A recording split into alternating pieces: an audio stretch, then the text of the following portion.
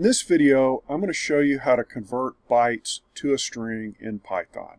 Now, some functions return a bytes object, and you really want a string. An example of this, uh, which we covered in a recent video, is subprocess.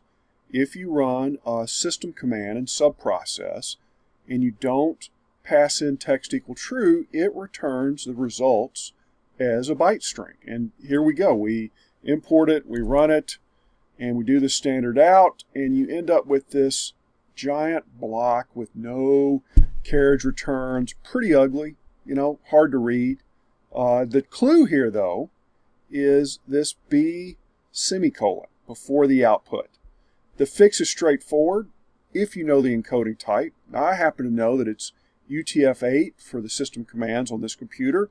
Maybe it's uh, Latin, Windows might be slightly different. You'll have to do a little research to see what the encoding is.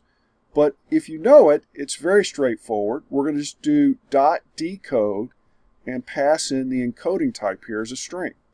Now when we print the output, you have a nice list with all the carriage returns and everything like you would expect it. So very simple fix here. Hope that's helpful. Subscribe to this channel for more videos and hit the like button down there. It helps me build an audience. See you in the next one.